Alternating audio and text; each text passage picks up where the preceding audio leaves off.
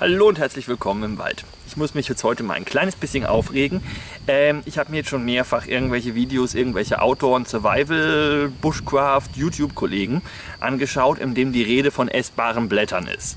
Da gibt es eine ganze Reihe von Leuten, die da nette Videochen machen dazu, dass man halt eben Blätter oder Nadeln, zum Beispiel von Lärche, junge Buchenblätter, das hier sind übrigens Buchenblätter, nur nicht jung, ähm, also was, dass man das essen kann. Das stimmt, das kann man essen, nur ist es nicht unbedingt sinnvoll, das zu essen. Und was mich stört, äh, obwohl das ansonsten tolle Videos sind und ich all meine Kollegen ja wirklich sehr gerne habe und sehr schätze, ähm, auch was die so machen, videotechnisch und so weiter und so fort, ist alles ganz super. Nur mich stört bei der Sache als Naturwissenschaftler sehr, wenn man jetzt sagt, man muss dieses und sel und jenes Grünzeug futtern, äh, weil das angeblich ach so gut schmeckt was ich nicht nachvollziehen kann. Ich habe das auch schon probiert, einfach nur, weil ich mal wissen wollte, schmeckt das wirklich? Und nein, also ganz ehrlich, ich kann mit Buchenblättern nichts anfangen, ich kann mit Birkenblättern nichts anfangen, ich kann mit äh, jungen Haselblättern nichts anfangen. Ich kann, ja, also so junge Grashalmtriebe, äh, die kann man theoretisch noch verputzen.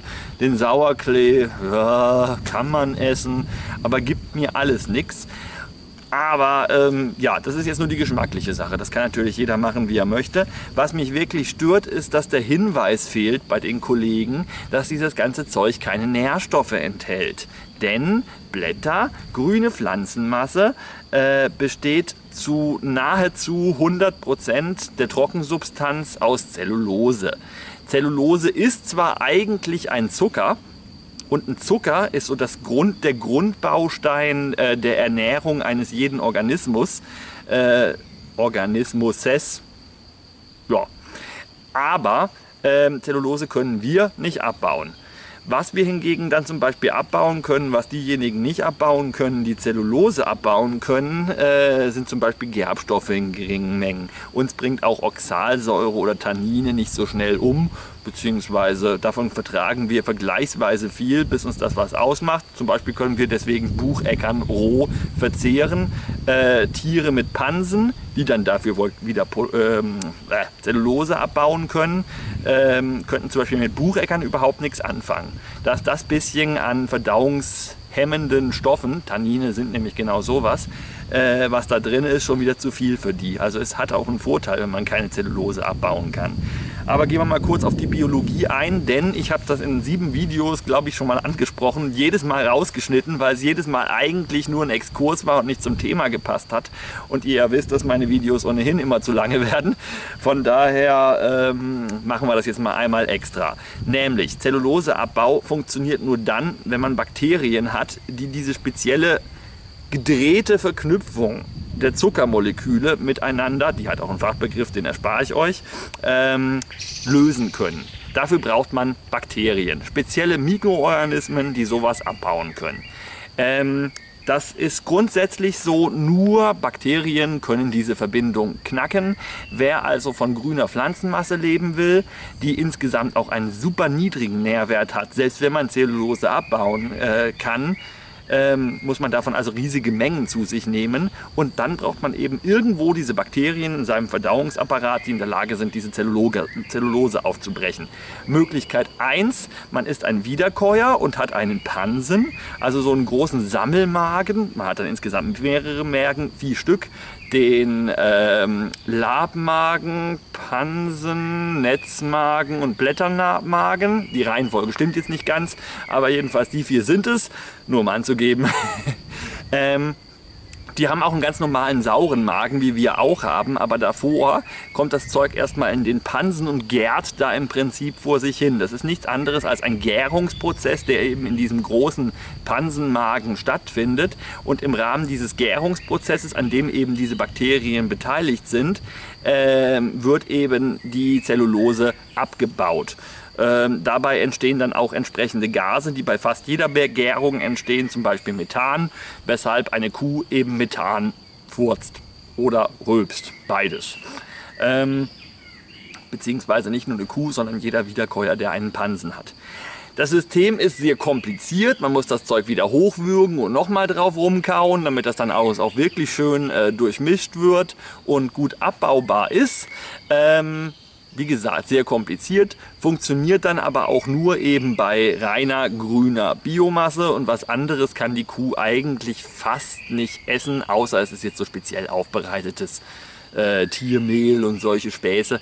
Aber aus der Natur selber kann sie was anderes gar nicht großartig zu sich nehmen.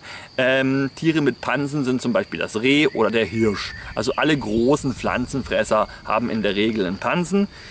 Jetzt gibt es die Alternative, wenn man klein ist, dann hat man eigentlich gar nicht den Platz, um so einen riesen Magen mit sich herumzutragen. So ein Pansen ist wirklich groß.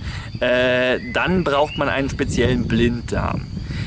Wir haben ja jetzt auch einen Blinddarm. Ähm, jetzt muss man dazu sagen, nur wenn man ein äh, Pflanzenfresser ist, der keinen Pansen hat, hat man einen funktionalen Blinddarm, äh, der wirklich eine Aufgabe erfüllt. Nämlich ist er dann vergleichsweise groß und beherbergt dann wieder eben diese Bakterien, die in der Lage sind, Zellulose zu spalten. Und die kommen dann quasi aus dem Blinddarm raus, während der Nahrungsbrei am Blinddarm vorbeigeschoben wird, stürzen sich auf den Nahrungsbrei und bauen da die Zellulose ab, äh, verzehren davon selber einen Teil. Ähm, der Rest wird frei in Anführungszeichen und kann dann im Rest vom Darm dann auch verwertet werden und das entsprechende Tier kann sich davon ernähren. Ein Beispiel dafür wäre jetzt zum Beispiel ein Meerschweinchen um mal ein Tier zu nehmen, das jeder kennt. Und Hase zum Beispiel ähm, ist auch sowas. Also so kleine Pflanzenfresser, die haben dann meistens äh, ein Blinddarm-Zellulose-Aufschlusssystem. So, was wir jetzt haben, ist der simpelste äh, Magen, den es überhaupt gibt im Tierreich, nämlich einfach bloß ein saurer Sack. Also ein Sack, in dem ist Säure, das zersetzt so ziemlich jedes Biomaterial, was man da reinschmeißt, ähm, auf eine gewisse Ebene und dann kann halt eben von dieser Ebene ausgehend äh, frei gewordene Nährstoffe äh, durch die Darmwand aufgenommen werden. Aber das funktioniert halt eben nur, wenn sie frei geworden sind, die Nährstoffe. Und das ist nicht der Fall, wenn uns die Bakterien fehlen. Das habe ich jetzt, glaube ich, oft genug gesagt. Worauf will ich hinaus? Äh, Grünzeug wie Blätter oder ähnliches fressen mag cool sein und es ist sicherlich lustig, wenn man seine Nahrung in Anführungszeichen aus dem Wald holen kann, aber es bringt nichts. Ähm, ich habe auch mal irgendeinen so Survival-Experten gesehen, der in seinem Survival-Gürtel Salatdressing drin hat und meint, er würde ewig lange draußen überleben können, weil er kann ja alle möglichen tollen Pflanzen futtern. Also Grünzeug, Salat. Ähm, wenn ihr euch ausschließlich von Salat ernährt oder auch nur zu 80 Prozent von Salat ernährt und euch zusätzlich noch relativ viel bewegt, werdet ihr relativ bald feststellen, dass ihr trotzdem verhungert, weil man wirklich mit Salat fast nahezu keine Nährstoffe ähm, zu sich nimmt. Also die wichtigen Nährstoffe, Vitamine und Mineralstoffe sind alles schön und gut, aber die brauchen wir wirklich nur in so geringen Mengen, dass wenn man ganz normal alle mögliche andere Survival-Nahrung, die was bringt, zu sich nimmt, kriegt man automatisch äh, genug Minerale und ähm, also Minerale sind überhaupt sowieso überhaupt kein Problem. Da müsst ihr einfach Wasser trinken, dann stimmt das mit den Mineralen schon. Vitamine, nur Vitamin C braucht man in so großen Mengen, dass man tatsächlich da sich darum kümmern muss, äh, speziell was zu essen, was Vitamin C enthält. Alle anderen Vitamine sind in völlig ausreichenden Mengen in ganz normaler ja, was heißt ganz normaler, also in der stärkehaltigen Überlebens-Survival-Nahrung, dem Zeug im Wald, was man essen kann und auch verdauen kann, äh, sind alle anderen Vitamine ausreichend drin. Das heißt, eigentlich bräuchte man keinen Sauerklee fressen, man braucht schon gar nicht irgendwelche jungen Baumblätter fressen. Das kann man natürlich alles trotzdem tun, aber das ist dann Hobby, Spaß, vielleicht auch ein kulinarisches Erlebnis, wenn einem das Ganze schmeckt. Ähm, es hat mit Survival in dem Sinn meiner Meinung nach nichts zu tun, weil es das Überleben in keinster Weise fördert. Ähm, ja, jetzt habe ich mich, glaube ich, unbeliebt gemacht. Aber das wollte ich unbedingt mal loswerden, weil ich mir vorstellen könnte, dass es den einen oder anderen gibt, der denkt, oh ja super, ich mache hier einen Salat und dann überlebe ich bis in alle Ewigkeit ist natürlich nicht so. Was an Pflanzen grundsätzlich für uns essbar und verwertbar ist, also was uns wirklich Energie gibt, sind Samen und Wurzeln, weil Stärke, der Zucker, den wir abbauen können, also das äh, langkettige Zuckermolekül, ähm, das uns wirklich richtig Energie gibt. Äh, Fett ist auch nichts anderes als lustig zusammengesetzte Stärkepakete, an denen noch zusätzliche Sachen dranhängt. Ähm, das ist wichtig, das brauchen wir und das finden wir in folgenden Pflanzenteilen, den Samen und der Wurzel. Punkt. Es gibt ganz, ganz wenige Ausnahmepflanzen, die Stärke auch noch in den Blätter einlagern. Ein Beispiel wäre die Wasserlinse, äh, heißt so glaube ich, Entengrütze auch genannt. Ähm, das ist eine Wasserpflanze, da schaut das wieder anders aus. Die hat schlicht und ergreifend keine Wurzel, in der sie Stärke speichern kann. Deshalb tut sie es in den Blättern. Da kann man tatsächlich die Blätter futtern und die Blätter enthalten Stärke und können deshalb von uns, also zumindest die Stärke in den Blättern kann von uns verdaut werden und wenn man große Mengen davon futtert, also am Tag zwei, drei Stunden am Teich steht und hier diesen macht, rum, rum, rum, rum, rum, äh, dann überlebt man. Nicht hingegen, wenn man Buchenblätter mampft oder ähnliches. Das bringt nichts. Also merken, Wurzel und Samen. Nochmal, ich kann es nicht oft genug sagen. Äh, Pflanzenmaterial, das Nährstoffe enthält, sind in irgendeiner Form immer die Speicherorgane der Pflanze, in der sie selber Stärke anreichert, um im nächsten Frühjahr austreiben zu können. Weil wenn noch keine Blätter da sind bei einer wechselgrünen Pflanze, äh, muss ein Stärkedepot da sein, um einfach schon mal die Energie zu haben, zu wachsen, bevor man per Photosynthese äh, neuen Zucker selber produzieren kann. Daher diese Speicherorgane, dicke Wurzelknollen, eine Möhre ist nichts anderes, eine Zwiebel ist nichts anderes. Ähm, so ein Zeug, das enthält Nährstoffe, das kann man essen. Das heißt, sucht nicht über, ober, oberirdisch äh, nach Nahrung, sondern schön buddeln. Zum Beispiel Löwenzahnwurzel. Mag nicht besonders lecker sein, aber damit überlebt man wirklich.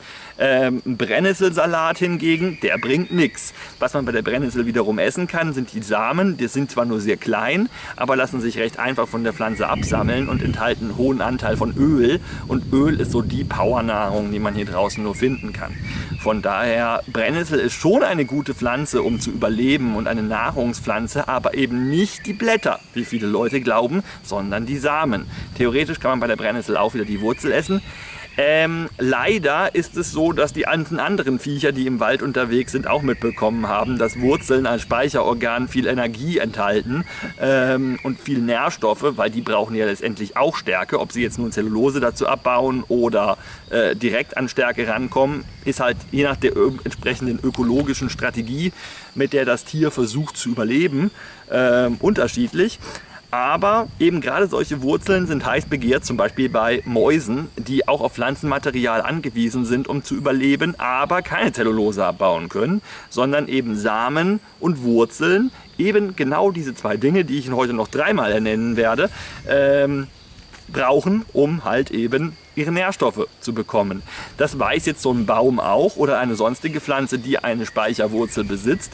Daher ist es ganz häufig so, dass Speicherwurzeln noch mit irgendwelchen Dingen angereichert sind, die sie schwer verdaubar machen. Ähm, Beispiel, alle Ranunculaiden, Hahnfußgewächse, haben in der Regel irgendwelche relativ dicken Speicherwurzeln. Die Dinger sind super häufig und man findet sie überall. Man könnte also super an solche Wurzeln drankommen, aber, das weiß der Hahnenfuß auch, Daher ähm, ist er giftig.